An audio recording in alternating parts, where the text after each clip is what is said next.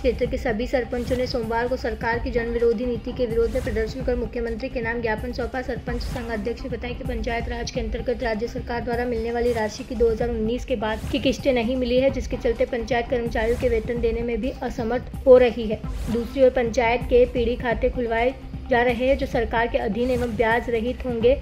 ऐसे में ग्राम पंचायत जो इस राशि के ब्याज का उपयोग सार्वजनिक हित में कर रही थी वह अब नहीं कर पाएँगे। साथ ही अध्यक्ष ने कहा कि पूर्व में भी इसी प्रकार का आदेश निकाला गया था लेकिन तत्कालीन पंचायत राज्य मंत्री सचिन पायलट द्वारा नोटिफिकेशन जारी कर इसे रुकवा दिया था। फिर भी दोबारा सरकार ने पुनः वही आदेश निकाल दिया। इससे सरपंचों में रोष व्याप्त है।